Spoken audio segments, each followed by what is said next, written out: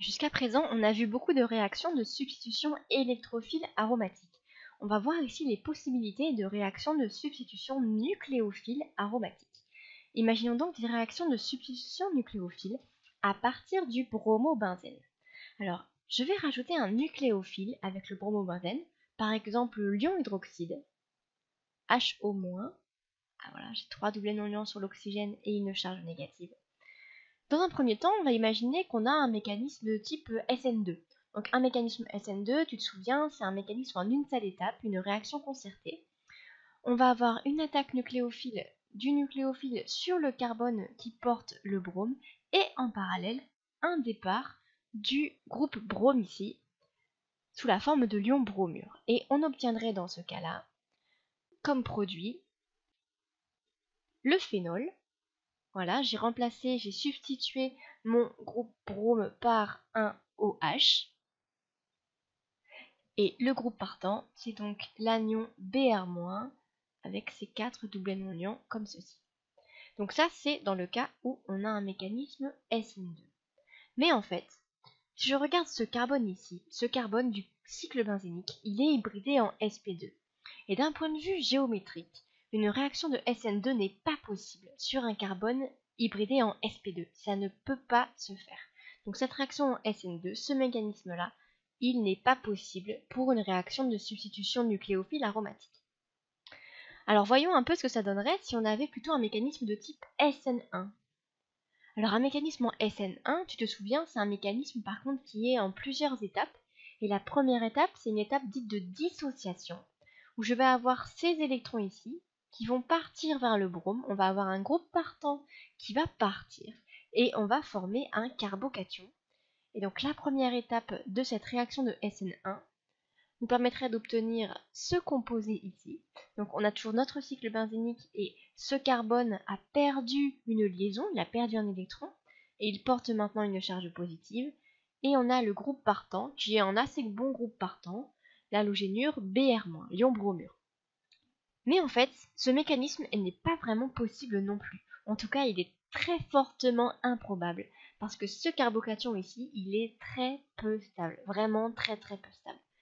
Ce mécanisme en SN1, il est éventuellement rencontré quand on a de très très très excellents groupes partants. Mais globalement, dans la quasi-majorité des cas, ce mécanisme-là, il n'est pas possible non plus. Alors tu vas me dire, ok, on veut voir des substitutions nucléophiles aromatiques, mais on ne peut pas passer par des mécanismes de substitution nucléophile. Effectivement. Par contre, on peut quand même avoir une réaction qui, au final, nous donne une substitution nucléophile aromatique. Mais on va passer par un autre type de mécanisme. Alors, pour qu'une substitution nucléophile aromatique puisse avoir lieu, il faut que le composé dont on part respecte quelques règles la première, c'est que sur ce composé, on doit avoir un substituant attracteur d'électrons. Dans l'exemple que j'ai mis en dessous, on voit qu'on a effectivement ici un groupe nitro qui est un groupe attracteur d'électrons. Le deuxième critère à remplir, c'est qu'on doit également avoir sur notre cycle benzénique un substituant qui est un bon groupe partant.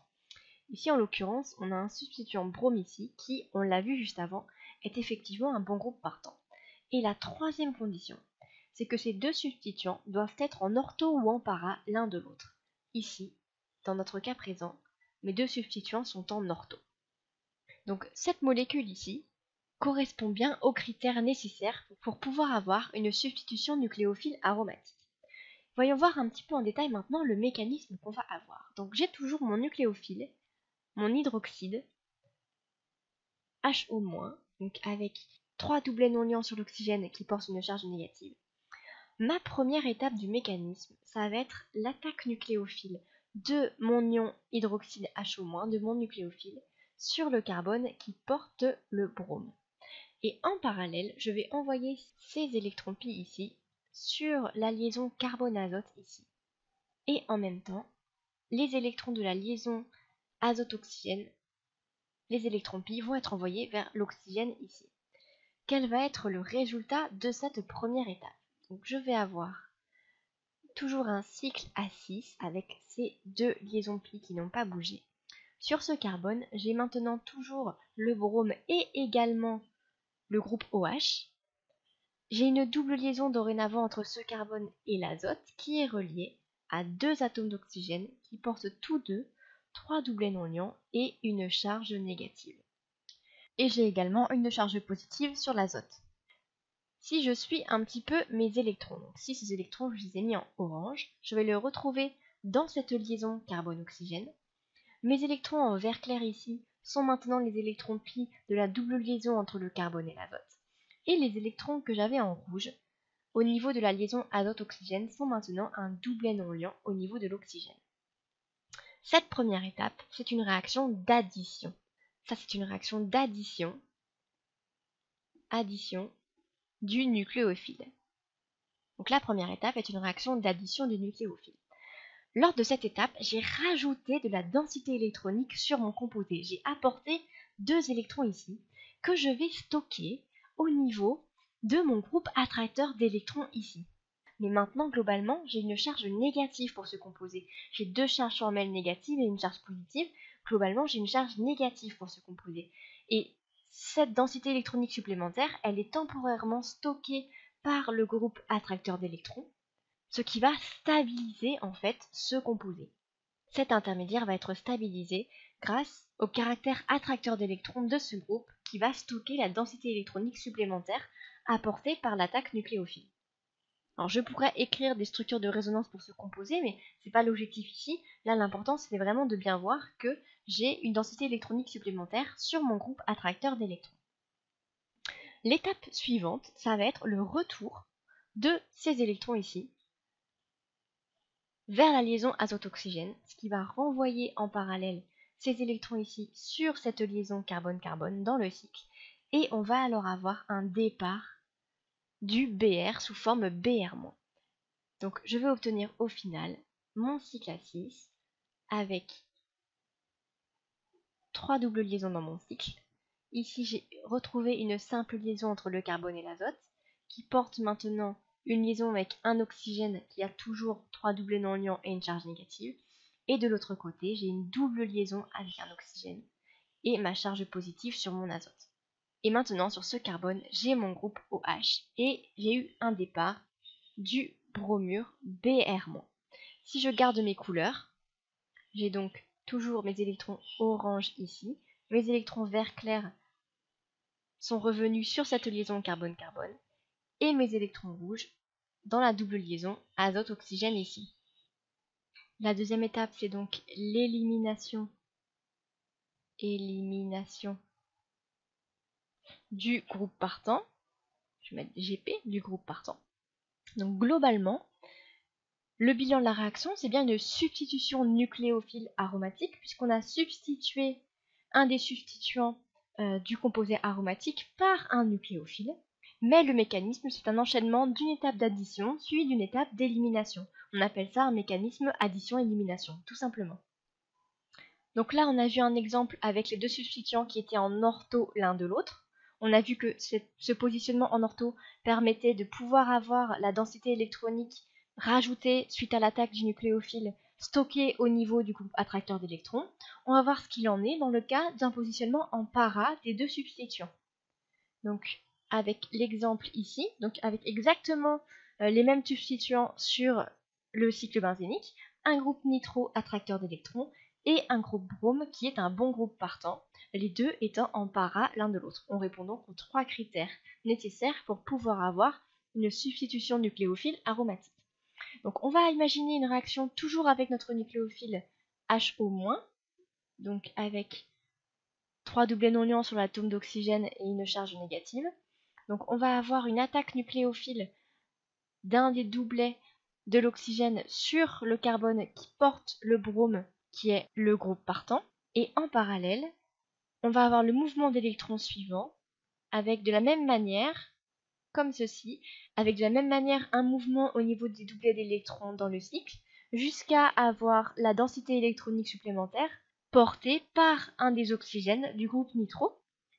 Et donc je vais obtenir, suite à cette première étape d'addition nucléophile, l'intermédiaire réactionnel suivant. Donc j'ai maintenant sur le carbone ici à la fois le groupe Br, le brome, et j'ai rajouté le groupe OH. Au niveau des mouvements d'électrons, j'ai donc maintenant une double liaison ici et une double liaison ici.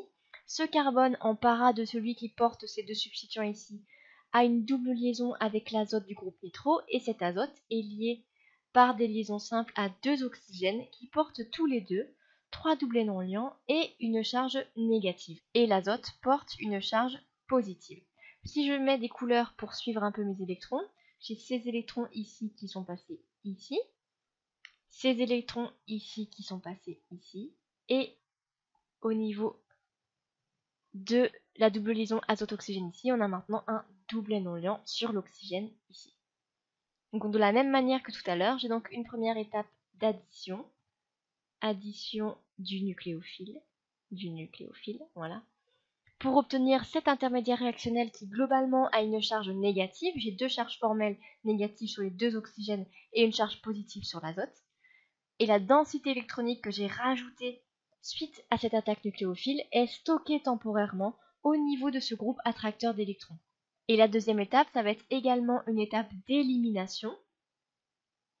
Une étape d'élimination du groupe partant, je vais écrire GP, du groupe partant, avec un mouvement, un retour des électrons ici au niveau de la liaison oxygène-azote, ce qui va entraîner le mouvement de ces électrons sur cette liaison, les électrons violets ici, et on va avoir le départ du groupe Br-.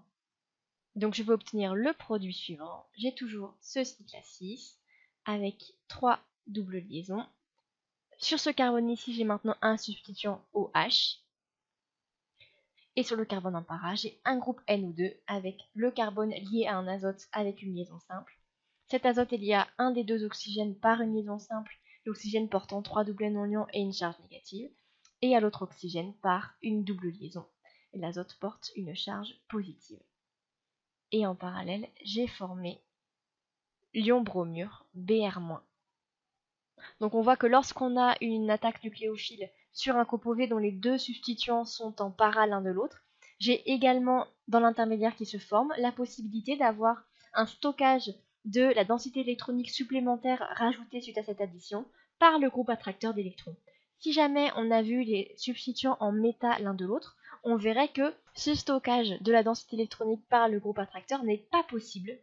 Et c'est pour cela que cette réaction de substitution nucléophile aromatique n'est possible qu'avec des substituants en position ortho ou para l'un de l'autre. Puisque le positionnement en ortho ou para de ces deux groupes permet une stabilisation de l'intermédiaire réactionnel grâce au groupe attracteur d'électrons qui va pouvoir stabiliser et stocker la densité électronique supplémentaire due à l'addition du nucléophile.